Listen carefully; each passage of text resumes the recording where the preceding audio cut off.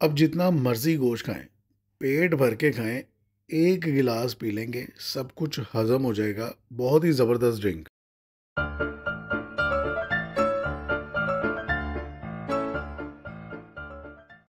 दोस्तों आज जो हम एक ड्रिंक बनाएँगे ना ईद पर गोश्त खा खा कर ना लोगों का हो जाता है बेड़ा गर्क तो इन जो ड्रिंक आज मैं आपको बताऊँगा ये पी लें आप, आपका पेट बिल्कुल साफ़ हो जाएगा, मैदे की गर्मी ख़त्म हो जाएगी।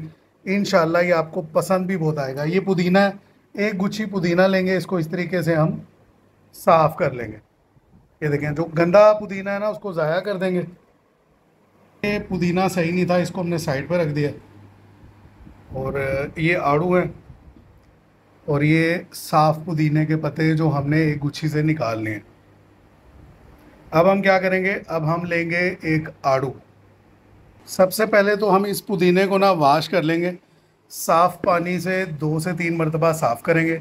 इसके अंदर जितनी मट्टी वगैरह है वो सब निकल जाएगी। तो चलो पहले इसको हम वाश करते हैं। ये देखें जी, इस तरीके से ना इसको हमने अच्छी तरह वाश करना।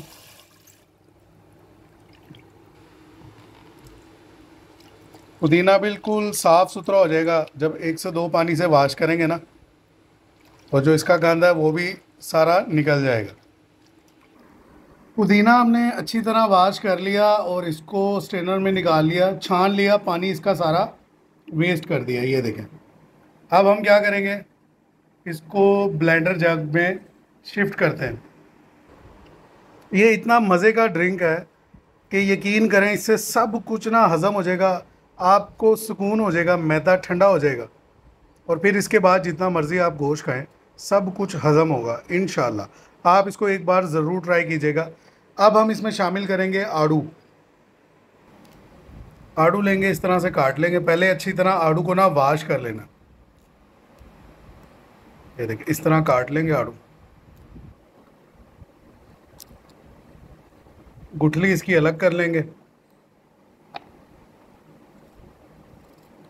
इसको छोटे पीस कर लें, ग्रैंड होने में ज़रा आसानी हो जाएगी।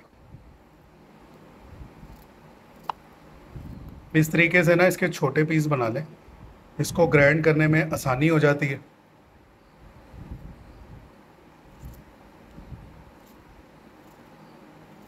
दो आड़ू लेंगे हम। दूसरे आड़ू को भी इसी तरह काट लेंगे। पहले अच्छी तरह वाश कर लेंगे।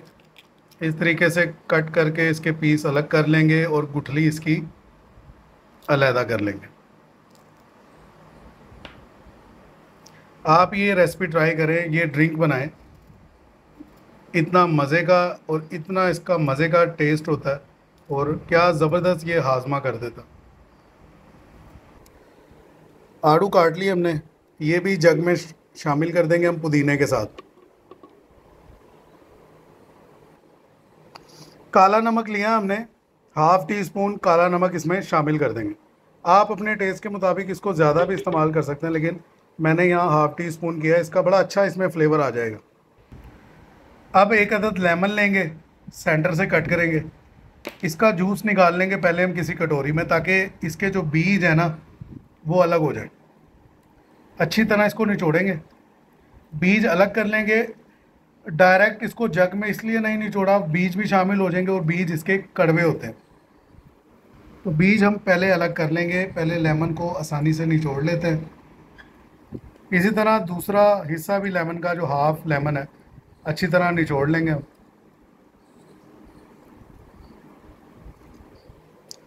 बीज रिमूव कर दिए लेमन के हमने, एक अदद लेमन वो भी शामिल कर देंगे हम। इस तरीके से सारा कुछ शामिल करके, थोड़ा सा इसमें पानी शामिल करेंगे हम। पानी लेंगे, सादा पानी भी इसमें हम शामिल करेंगे कि ये जस्ट ब्लैंड हो जाए। ब्लैंड करने के बाद आपको दिखाते हैं सूरत हाल। हमने इसको अच्छे से ना ब्लेंड कर लिया। इसका जूस बना लिया किस्म का। लेकिन अगर आप चाहते हैं कि आप इसको मीठा पिएँ तो आप इसमें चीनी शामिल कर सकते हैं। लेकिन मैं यहाँ चीनी शामिल नहीं करूँगा, मैं स्टीविया शामिल करूँगा, जो स्वीटनर होता है आर्टिफिशियल स्वीटनर जिसका कोई साइड इफ़ेक्ट नहीं है और शुगर के पेशेंट इसको ईजीली इस्तेमाल कर सकते हैं। ये आर्टिफिशियल स्वीटनर है, इसको स्टीविया बोलते हैं। ये मैं शामिल कर दूँगा थोड़ा सा, एक चुटकी से थोड़ा ज़्यादा।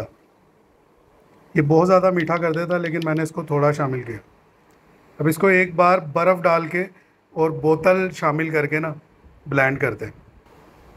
इसमें अब हम शामिल करेंगे आइस बर्फ़। ये भी आपके अपने ऊपर है, आप इसको कितना गाढ़ा बनाना चाहते हैं और कितना इसको पतला रखना चाहते हैं और कितना ठंडा पीना चाहते हैं। और इसी तरह इसमें हम सोडा शामिल करेंगे। आप किसी भी ब्रांड का सोडा ले लें। मैं यहाँ स्प्राइट शामिल कर रहा हूँ।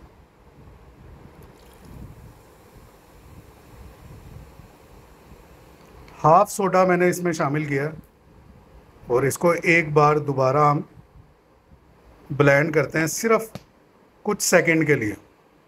ज़बरदस्त सा हमारा ड्रिंक तैयार हो चुका है। मुझे उम्मीद है ये ड्रिंक आप पियेंगे तो आपको ज़रूर पसंद आएगा और फ़ायदा भी होगा। नेक्स्ट वीडियो तक के लिए इजाज़त दीजिए। अल्लाह हाफिज़।